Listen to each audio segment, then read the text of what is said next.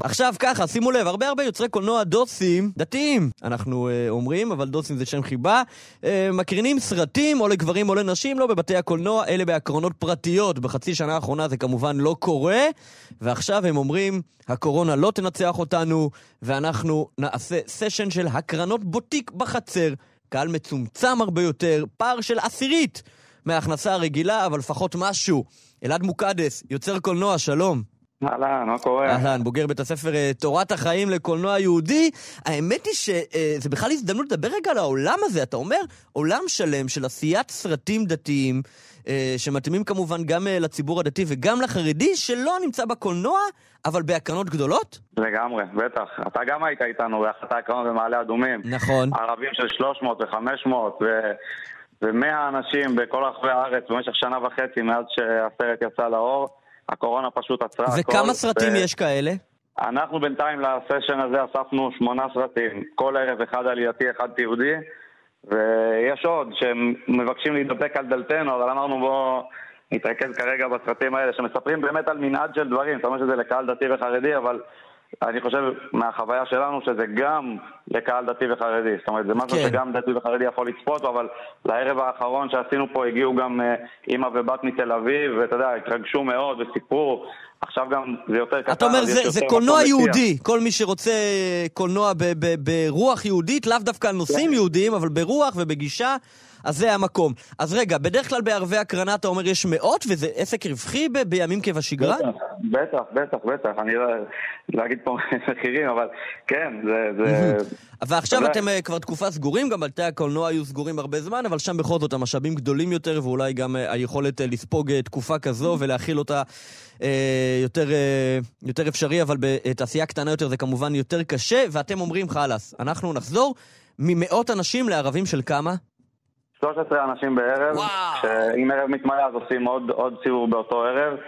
וזה מצד אחד בהתחלה היה נראה משהו אולי מוזר, אבל כשזה מתחיל להתגלגל אז החוויה היא מאוד מאוד קרובה, כאילו זה אנרגיה אחרת, אנשים אחרי הסרט יושבים, מדברים ביחד ומעלים תובנות שלהם, אתה יודע, אם בסוף סרט רגיל אתה קם והולך, פה יש לך הזדמנות שהמצלמה מופנית אל הקהל ואנשים מביאים את עצמם ויש סיפור, סיפורים אישיים, דברים מאחורי הקלעים, תובנות, ניתוחים, דברים ממש מרגשים, ממש חזקים. כן, עכשיו בעצם אתם אומרים לחבר'ה, טוב, זו הקרנה קטנה, אבל לכן אנחנו גם נעשה את זה קצת אחר, לא רק צפייה, אלא א', צפייה בשני סרטים, בזה אחר זה, אתה אומר אחד אלילתי, אחד תיעודי, ויש גם שיחה עם היוצרים, וזה נורא נורא אינטימי כמעט, אפשר לומר, 13 איש. כן, כן, ממש, ממש, ממש. עלו פה דברים מאוד מאוד אישיים של אנשים, אתה יודע, לא כל אחד רוצה לדבר, אבל אני חושב כן. שגם רק להקשיב, וזה פשוט חזק. יש משפט בסרט אנו רצים שהולך איתי ברקע כל התקופה הזאת, שהוא אומר, כשאי אפשר, עושים מה שאפשר. כאילו, צריך לפעמים למצוא איזושהי התגמשות ולרוץ איתה, ואתה יודע, לא יודע, יכול להיות שאולי גם אחרי הקורונה עוד נמשיך עם הפורמט הזה במקביל לערבים הגדולים. כן, יש בזה תגיד, איזשהו תגיד, אלמנט אה, מאוד חזק. זהו, אז מעבר. אה, בדבר ראשון לתחושה כיוצר, שהנה, אנשים ממשיכים לראות את התרבות ואת היצירות שעשית, והמסרים אה, ממשיכים להדהד, אה, כלכלית זה בכלל משמעותי? זה מסייע במשהו? כן, בוא נאמר, במצב שאליו הגענו, יודע, אני חזרתי לבית של ההורים, וכל. אחד והחשבונות שלו, אז זה כן, גם, אה, גם אם זה רק 13 אנשים שמשלמים כמה שקלים, זה בסוף, אה, אתה יודע, מתחיל להניע משהו. כן. אבל אה, כן, ברור שזה פער מטורף. טוב, נאמר אה, שבסרט אנו רוצים, אבל אנחנו ממש לא מדברים רק עליו, אנחנו מדברים פה על סדרה של סרטים, אבל זה באמת עולם מקביל לעולם הקולנוע, ואנשים פשוט לא, לא מספיק יודעים עליו, יודעים יותר.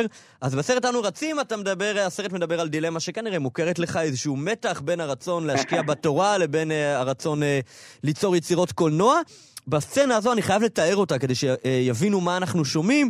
אה, רואים חברותה לומדת, ואז אה, אחד קורא אה, לאחד מהחברותה ואומר לו, יש איזושהי פגישה עם הקרן, נציג הקרן לקולנוע, בקיצור, הוא שם והחברותה כועס עליו, נשמע קטע קצר. אמר לי רב אחא בר אביי לרבינה, איך ידע מי? בסדר, אז בעצם הגמרא מנסה להבין מה עובר בראש של הבן אדם. בסדר? יש לנו איסור דאורייתא מול איסור דרבנן. יפה, אפילו ש- לפני שזה נאפה זה איסור דרבנן. איסור דרבנן מול איסור דאורייתא. אז הגמרא עכשיו תנסה להבין מה, מה, איך בעצם... הנציג של הקרן עוד דקה מגיע. יאללה.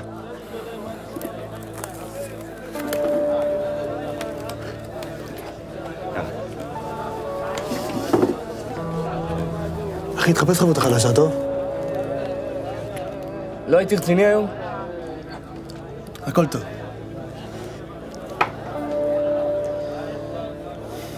טוב, אה, אנחנו אה, ממש אה, קצרים בזמן, אז רק נאמר, אלעד מוקדס נרשמים אצלך 052-8911-024. אני אדייק יותר- אני אדייק יותר, אני אדייק יותר, חפשו בוטיק קורונה. מצוין.